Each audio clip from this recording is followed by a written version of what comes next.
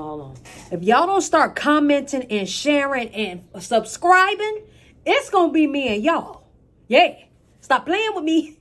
Comment. Hello, my fault. Go to the video. Hello. Get some of that royalty.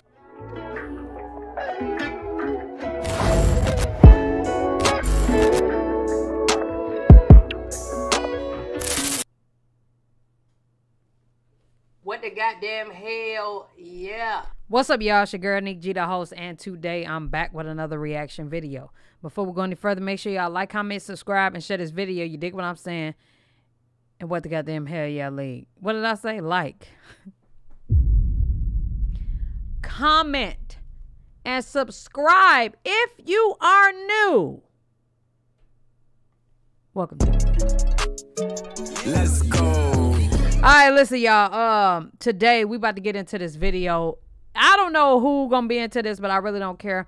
I'm starting to do videos for me. You know what I'm saying? For my soul. You dig what I'm saying? This couple right here, I love them. I don't necessarily even know their real names, but I know they own Sistas. One was on Sistas, and one he worked with Tyler Perry too.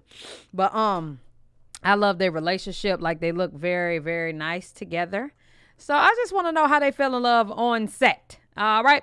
If y'all not interested in this video, you know, y'all could just go ahead and go watch another one. But I want to watch this. All right, let's get into it. That was a very, very nice job, Skyh. And one of your castmates was like, "Is Skyh the only person you see in here?" You said, "I said what I said," and I was like, "Thank you." At the airport, we were getting ready to, All right. So Skyh Alvester Black and KJ. to load up for season two. But I was um, recording the experience of going back to season two. And I saw you, and I was like, We're ready for season two. And I'm with this guy. What's your name? I said, "I'm Skyh." I'm Skyh Black. Uh huh. I said, Who do you play? And you said, Jacoby. And I said, Well, what do you do this season? I come in and I shit up. My heart went, Doo doo. Doo. Oh, now remember. I remember now. I watch Sistas. I don't know about y'all, but I'm really into Sistas. Uh, uh Sistas. Tyler Perry has Sistas and he has brothers.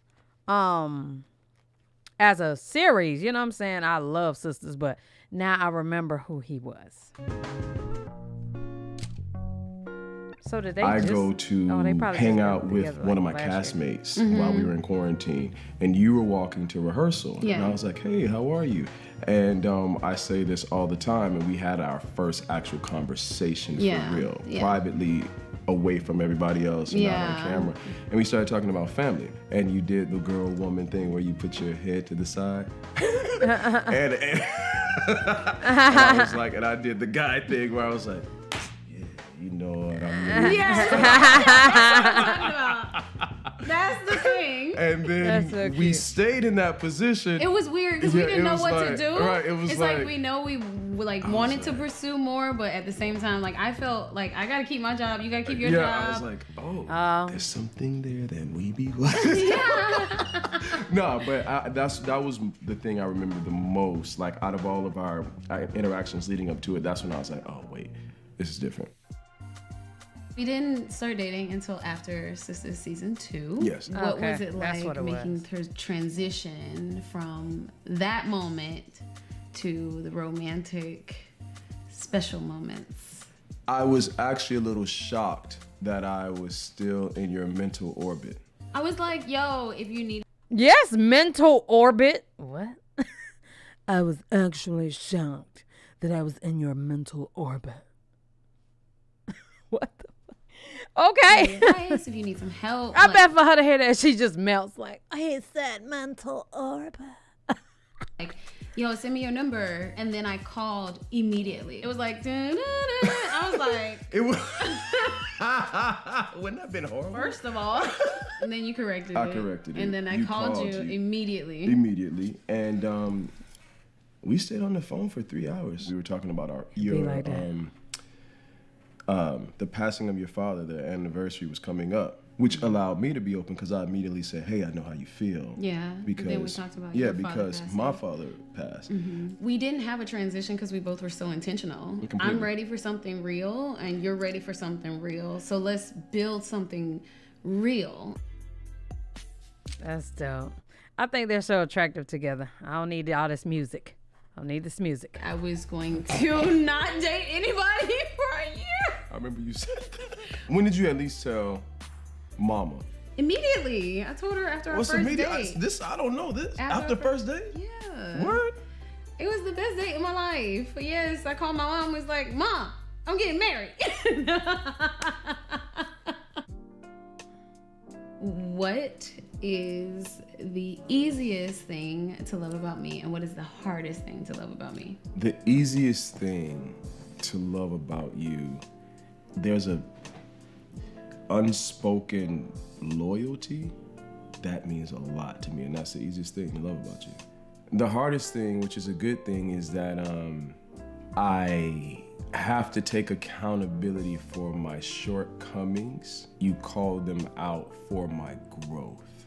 The, the thing that makes it hard is that you have to search yourself and say, yes, I, I need to work on this. Yes, I need to work on that. He knows how to word things and on time with the wording. You know what I'm saying? Like he he knows when to say it correctly. You know what I'm saying? He's just very cautious with his words. I like It's hard because you force me to take self in inventory a lot. Mm-hmm. So, yeah. Oh, baby. You gonna cry? yeah. You don't mess up your makeup. Oh, come here, baby. Oh Lord.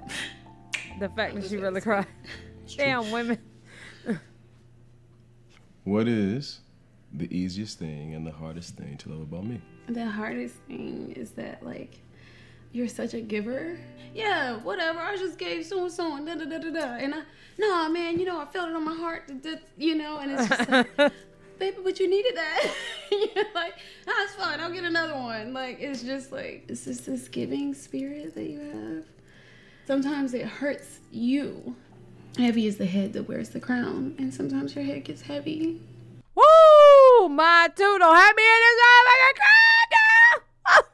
I've slowed down, y'all. Don't worry. Don't feel bad for me. Mm-mm. When I tell you, the giving part is at about a 20.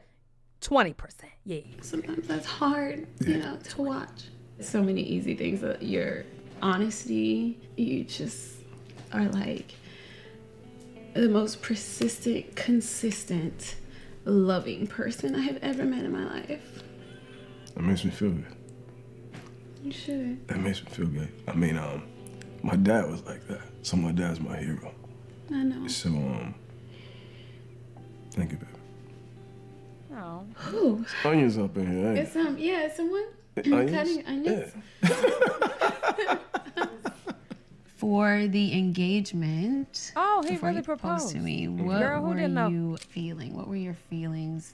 I was talking to my grandmother and my family about um, how do I do this? How do I make it special? Cut to we get to Miami and we have all our family, we have both of our families together, and it's this special event. I got nervous the moment I started speaking.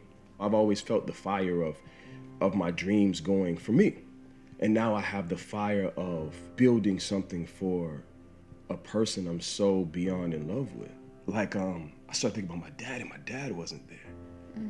And I just saw it and I was like, you know, I was just like, I didn't realize how deep my love is for you. Like I know I'm completely a hundred and times a thousand percent in love, but it's just like I understood the definition of soul. They accommodate each other so well. soul mate and soul tie. And then I, I I started to get nervous. I, I, I was shaking. Like I, I remember it and I was like, and I was like, "What's happening?" Yeah, and I was like, I've like, never seen you um, like that before. I, it was the first time, one of the first times in my life where I felt like it was life or death for me. I am like, I know my baby, and I know that something's wrong, but I was just trying to gauge it before making an announcement. Like, we have to go to the ER right now. we have to go to the ER. Right. What did you feel in that moment? I just remember being worried about you. And so I was like, he he's stressed out because all he's doing is this. Before I knew it, that ring was out, and I He was trying to remember his words, I guess. was like, give it to me.